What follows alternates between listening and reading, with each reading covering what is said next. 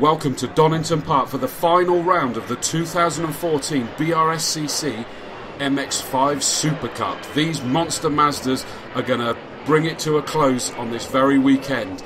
This is the Saturday race number one, and in pole position is Liam Murphy, and Abbie Eaton keeps in company on the front row. Row two is Clint Bardwell and Tom Roche. Third row is Adam Brindle and Gary Townsend. Row four seems Simon Goddard and Matt Davies. James Aspinall and Justin Noonan on row 5. The sixth row is Simon Fleet and John Davies. Row 7, George Lyon and Jeff Gurrier. Row 8 is Robert Way and Jeremy Crook. Row 9, Stephen Andrew and Christopher Lord. On the 10th row is Jim Hart and Raymond Worley. And on the 11th, the final row, Nicola and Peter Gillette keeping each other company on the back, and the lights are out, and off they go, and they pretty much pull away as one. And there we're looking back from Tom Roche's car at car number 223, Gary Townsend. He's looking to try and make a move on this opening section. And there we've got Abbie Eaton trying to go for the lead. Apparently, she only needs to get two fourths of this, these two races. She settles in second behind poleman Liam Murphy. She doesn't need to do anything untoward. Fourth is fine. She's 17 points in the lead. Uh, Tom Roche needs to do uh, a, lot more than that, so he's going to be desperately hoping. He will have been disappointed to have started down in fourth position, but he's got himself up into third already as they come down the infamous Craner curves and they're heading into Old Hairpin. As we see kind of a 91 there, Matt Davies just holding off uh, attention from pretty much a whole pack at the moment, as is so common in these uh, cracking MX5 races. And uh, they head up into McLean's. I do love. Oh, we can hear a screech of tyres there. That's car number eight. So that's Nicola Gillette uh, at the back. Oh, and Abbie Eaton just uh, gives a little uh, love tap there to Tom Roche as we look back from Tom's car. Uh, that means that she's uh, lost out that position to Tom then. So Tom's got himself up into second. I was about to say, but uh, not. She doesn't have to fight too hard. But Abbie's a racer. look, she's desperately trying to get that second. All the while, this is allowing Murph- Liam Murphy to pull away at the front. Tom Roche has uh, taken some great speed ahead. Oh, and uh, going straight on there, car number 91, Matt Davies started in eighth position. Uh, wonder whether having some slight issues with the handling there but uh, rejoins and gets back on at Wheatcroft Straight. So uh, uh, no advantage was gained there. Unfortunately, he lost a lot of places, so I don't expect him to uh, incur any kind of penalties there. 46 Simon Goddard there, uh, just holding off the likes of Gary Townsend as they head through Red Gate for the second time. Abbie Eaton charging down through the Craner curves. She's in third. Tom Roche has managed to pull away, and we've got number 16 there is uh, looking to make a move. And uh, as Adam Brindle started in fifth, so he's gone a little bit further back on this. Uh, I think uh, just trying to catch up because there's so many of them joined together. Car number 68, Justin Newman, just at the back of that pack. Um, but Gary Townsend looking to hold him off whilst also just seeing them all squirming as they came through. Uh, McLean's there heading towards Coppice, and that's rapidly becoming a train of. If we're not careful, that's going to be about eight cars. At the front, look at this, it's still Liam Murphy, but he's now got the orange monster of uh, Tom Roche has now joined him. Tom Roche really wants to take this victory. And look at this, Abbie Eaton's under pressure for that third position. Nothing untoward done there by Abbie. She knows there's no point just throwing it all away. Clint Bardwell, car number 34, moves himself up onto that podium position. She has Abbie Eaton still in fourth. She is still looking as they come across uh, along the Wheatcroft Straight, heading down towards Redgate. But she's not going to do anything daft. She doesn't want to throw this away. Remember, she only needs two fourth positions in today and tomorrow's races, and she can secure this championship. Heading through Hollywood, down Craner curves. It is still Liam Murphy in the lead, just holding off Tom Roche, the bright orange car of Tom Roche. Then a bit of a gap back, and it's number 34, Clint Bardwell. Good to see Clint back and racing. Uh, 44, Abbie Eaton, still keeping the pressure on Clint Bardwell.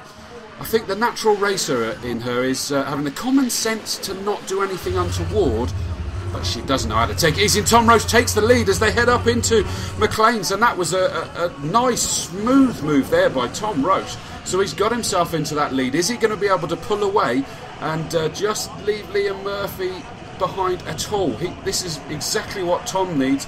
Abbie's not going to be delighted. She's still in the fourth that she needs, but I'm sure she wasn't wanting to see the orange car in the lead of Tom Roche. These two have been joined together virtually the whole of this season. So Tom Roche heading in towards Roberts, bring it onto the uh, Wheatcroft straight complete yet another lap. I think that's I've lost track. Is that four or five laps now? As per as is always the case with these races, they're so exciting.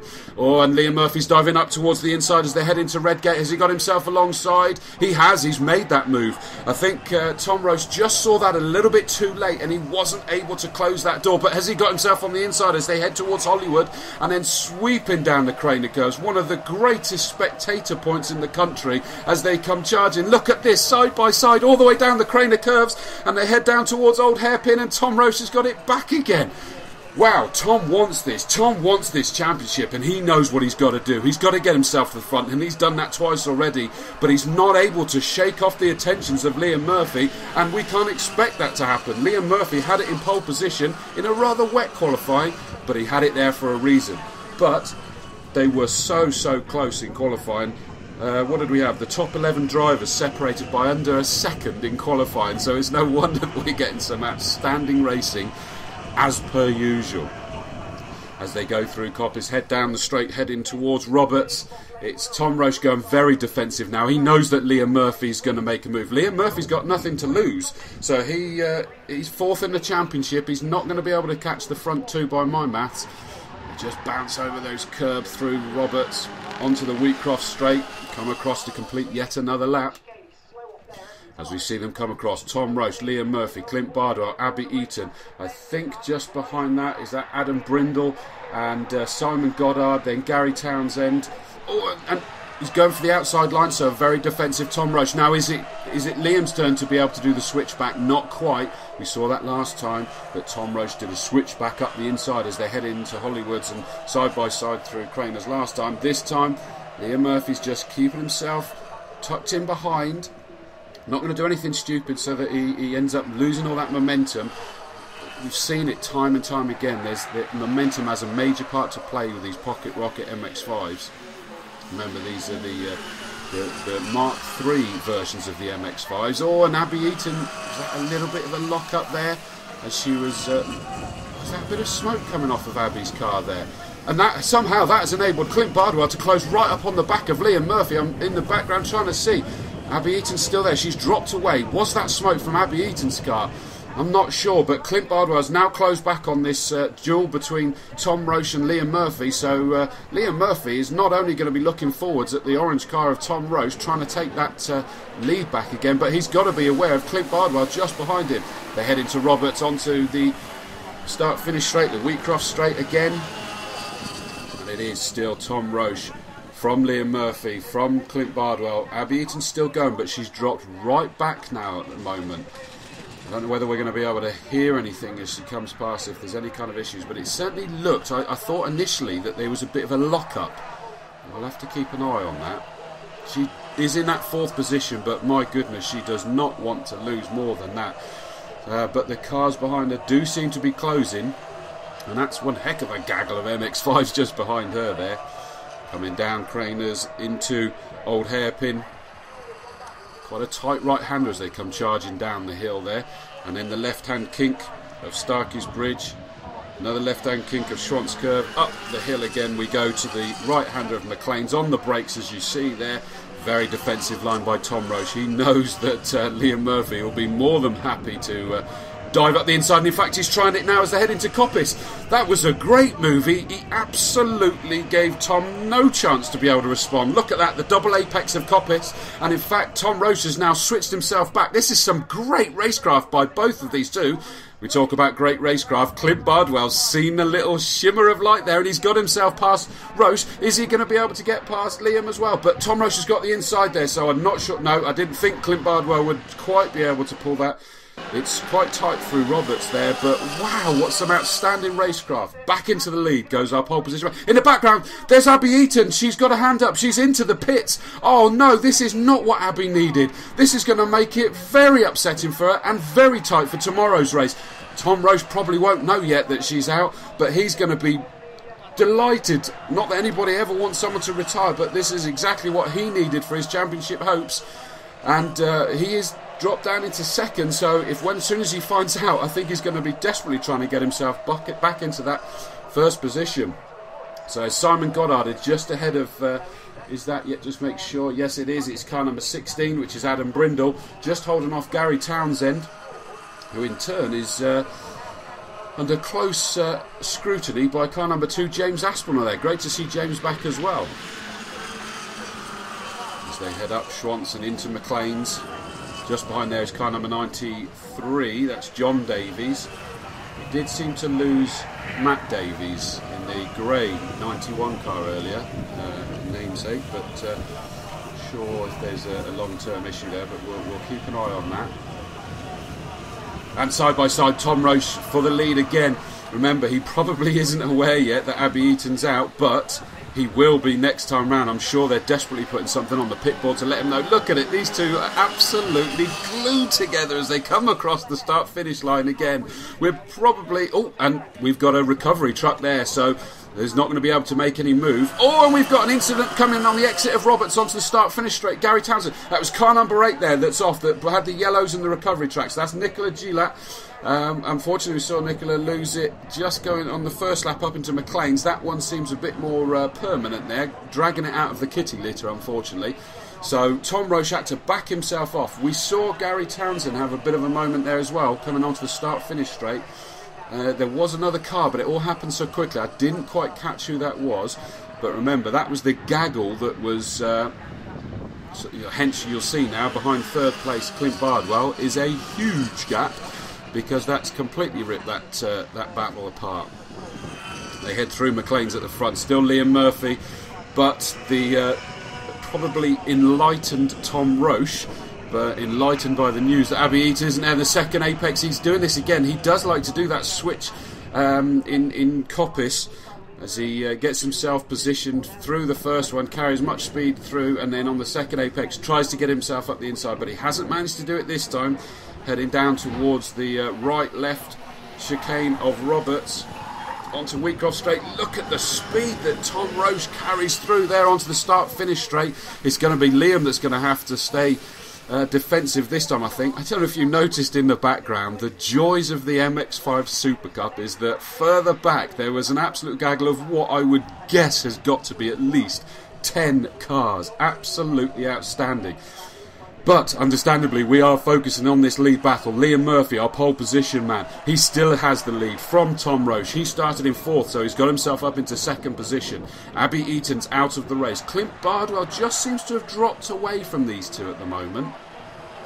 Um, not, it doesn't look as though there's any kind of issue, but uh, I think these two have just got themselves so slipstream together. They've managed to punch a hole through the air and just pull away but uh, we saw Clint Bardwell suddenly close in out of nowhere earlier, which again we've seen time and time this year. And look at this, Tom Roche again is trying up the inside as they head in towards uh, what it seems to be. Oh, a little uh, little love tap there. This Coppice, he does love Coppice.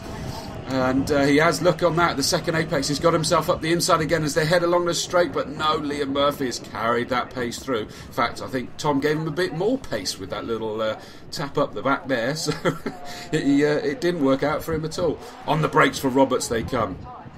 Onto the start finish straight again.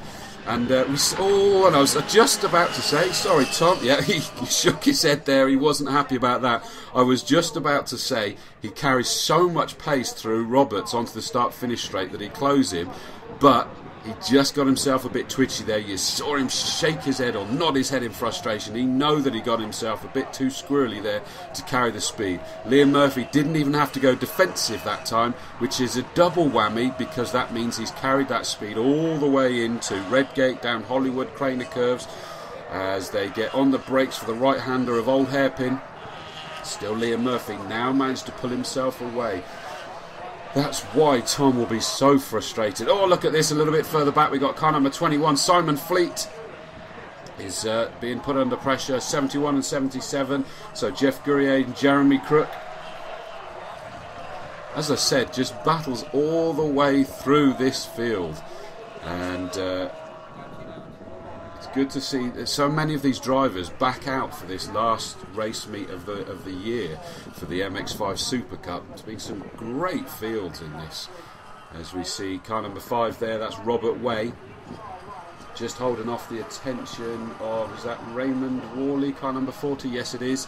So Raymond Worley's trying to get uh, back onto terms with uh, Robert Way, who we'd already seen that they're trying to chase down Jeremy Crook and Jeff Gurrier. We'll see so often that there's every chance this will become a four-car train any minute. But, sorry, commentator's curse, Jeff Gurrier's managed to pull away from uh, uh, Jeremy Crook as they head through Coppice onto the start-finish straight. That looks like uh, I did mention earlier that uh, Matt Davies, car number 91, we saw him go straight on, uh, straight line Roberts earlier, but he's got himself ahead of uh, John Davies there, so uh, get himself back up through the grid. I'm not sure what position that's going to be. That might even be for fourth position now, actually. And we've got car number 10 there, Christopher Lord. Christopher Lord started in 18th position and he's now battling with Matt Davies, who started in 8th. Now, I have to have a check in a little while exactly where they are, but uh, remember, we've lost Abbie Eaton. We certainly seem to see go off the side of the track Gary Townsend. I don't know whether uh, he rejoined and is ahead of them. Uh, we'll keep an eye on that. Jeremy Crook now holding off. Robert Way is close right in as they head up. Schwantz up towards McLean's. Through McLean's they go. Tearing ever so slightly downhill, to, downhill then uphill towards uh, Coppice. We're back with our leaders, and look at this. They've just been split apart totally. We saw that frustration on uh, uh, Tom Roche's his helmet action, I suppose is the only thing I can say. Probably shouldn't. But um, he's, as he came on to the start finish straight, he just got it crossed up and he's not been able to close up on that. I said that it was a double whammy, that not only did he lose a bit of time there, but it meant that Liam didn't even need to go defensive as he headed into the first corner at Redgate. And it has just enabled Liam Murphy to edge away ever so nicely. There's probably only two or three laps, I'm, I'm suspecting, uh, remaining, something along. We're back here with uh, who have we got here? We've got number 66, uh, sorry, 16. Uh, which is uh, James Aspinall, and he's just got the move being made there by, I think that was George Lyne. Is that car number 55? I think it is, you know, it is. Well, George Lyne started in 13th, so he's moving himself up there. Um, back to our leader on the brakes heading up. Uh, Schwantz curve into McLean's, the right hander of McLean's. See the orange car Tom Roche. I would imagine he, he's going to do his best to close up, but he knows not to do anything daft. He's still second position, and he, and I'm sure he must know that Abbie Eaton's out of the race now, so he's got to maximise those points. Now, yes, of course, he gets more in first, but the last thing he wants to do is to come to any kind of grief making a, a rash move for that lead. Liam Murphy's just got himself totally into the zone. Look at that, absolutely effortless through Roberts onto the start finish straight. That was almost metronomic through there then. Last lap, so the last lap board is now out as uh, it is Liam Murphy from Tom Roche from Clint Bardwell in the background there. They've spread themselves out. This is very un MX5 Super Cup like, to be honest with you. They're that that far uh, apart, but uh, it doesn't mean it hasn't been an exciting race by any stretch of the imagination. Down they come through Craner Curves for the final time. Liam Murphy, nice and comfortable in that lead now. He knows he doesn't have to do anything daft. Tom Roche can take it easy. He knows that he's too far away on this final lap to, to make any kind of move, and he's not under any pressure from Clint Bardwell, who's got that third position. Up they go through Schwantz. Into the right hander of McLean's, onto the brakes, nice and smooth in the middle of the track. Touches that apex, lets it run out wide. Down the hill, then back up the slope into Coppice Remember, this was Tom Roche's favourite corner, is my reading of it, to be honest with you, with it, it hitting those uh, double apexes. Onto the, the straight, down towards Roberts for the final time they come. This will be 15 laps that will have been completed. It is Liam Murphy is going to nice and smoothly into Roberts. I was desperately stopping myself then. I was going to say about to take the victory. I don't want the commentator's curse. Through he comes and he takes that checkered flag, a great flag to Light's victory. Uh, light to flags even victory, sorry. Oh, and look at this in the background for the third position. Clint Bardwell was trying to desperately hold on to that, and Simon Goddard took to the grass, nearly took it, but didn't quite. A great victory for Liam Murphy. Second, Tom Roche. Clint Bardwell third. Fourth was Simon Goddard. Fifth was Justin Newman, Adam Brindle, Matt Davies in seventh, George Lyne in eighth, Christopher Lord, John Davies, James Aspinall, Simon Fleet, Stephen Andrew. Jeff Gurrier in 14th, 15th was Jeremy Crook, 16th Jim Hart, 17th Raymond Worley, 18th Peter Gillette. Excluded was car number 5 Robert Way for uh, overtaken under the yellow flags, unfortunately, in Redgate. But we're going to go to Joe Tanner in the pits. I'm here with Abbie Eaton, the number 44 machine from the Mazda Super Cup points leader at the moment. However, yesterday the championship was looking a little bit more healthy. You had 17 points roughly, but a DNF in race one. Yeah, uh, yesterday went sort of the worst possible uh, outcome it could be. Really, um, we didn't finish. There was a problem with um, the engine, and basically the engine blew. So I had to pull off, which is a horrible thing to have to do. Um, but yes, I am still leading. Um, it's now I think a nine-point gap. Um, so in terms of, of the drive I've got to do today, it's got to be the drive of my career really to um, to seal it.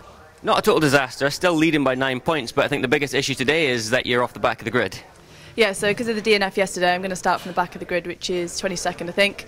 Um, and in terms of winning it, to definitely secure myself um, the championship, I need to finish fourth. Um, so I do like driving from the back. I like, you know, myself to have a challenge to be able to pull through, and I can only go forward.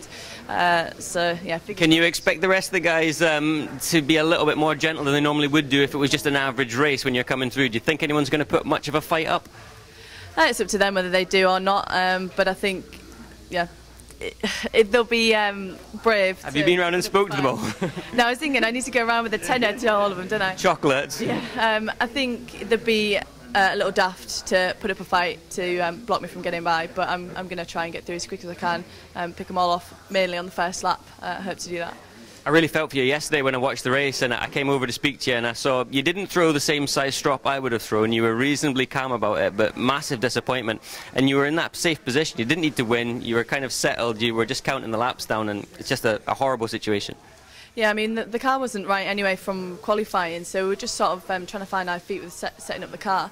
Um, so the first couple of laps, just getting into it, and then I dropped into fourth position. I was like, right, I'll just hold this for now. And actually, I was pulling Clint in, and I was thinking, well, if I can drop into third, it doesn't matter whether Tom wins or not. You know, I've still got those points in the bag that I need, and it'll take the pressure off today. Whereas it's done the opposite now, and I've got a little bit of pressure today. But actually, Tom still has the pressure as well because he needs to either finish second with the fastest lap or um, win completely um, to win the championship. So it's, it's not just down to me. The guys have been obviously working hard. Is it a complete new engine? Uh, yeah, so we've got the. Um, basically went to a, a scrapyard um, yesterday. Well, I saw this arrive yesterday actually on the back of a trailer. This is the car we've got. We took the engine out of that um, and put it into to the race engine. So the boys have been working all night, you know, doing a stellar job. Just putting all the finishing touches back onto it now, and pipes and electric things and stuff like that. So we, we're going to start it up soon and hope that hopefully it runs and, and do a few runs up and down there. Yeah, you haven't got a chance to do any warm up, any practice, anything before the race. It's just straight out to the green flag lap. Yep, so straight out. No uh, Am I helping? yeah. Uh, yeah, what will be will be, and if it's mine to win, then I'll win it. Good luck. Give us an exciting race to watch. Yeah, I'll try my best.